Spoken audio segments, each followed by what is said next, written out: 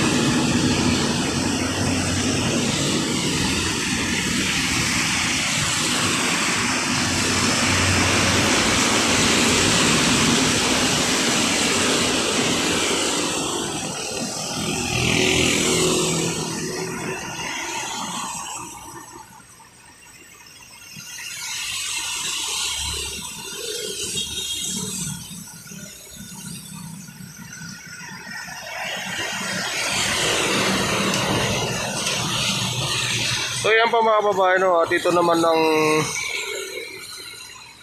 South Quadrant. So itong mga steel girder na to mga kababayan at yan po ang isusunod nilang kakabit mga kababayan. No? At saka po yung mga nasa unahan po mga kababayan, yan po yung mga ikakabit ngayon nila dito. So linggo po ngayon mga kababayan, siguro wala pong magtatrabaho ngayon. Siguro bukas po ng hapon yan. Sigurado at mag kakabit po sila ng steel girder.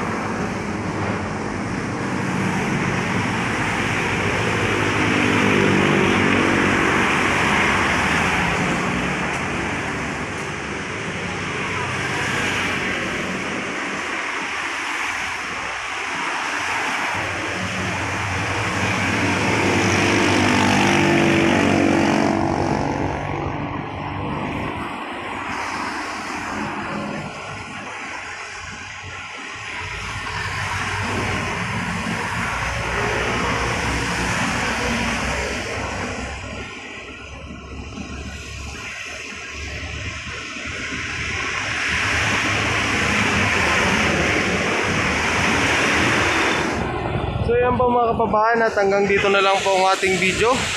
See you next video na lang po mga kababayan. Maraming maraming salamat po sa inyo. Mag-ingat po kayo and God bless. Thank you.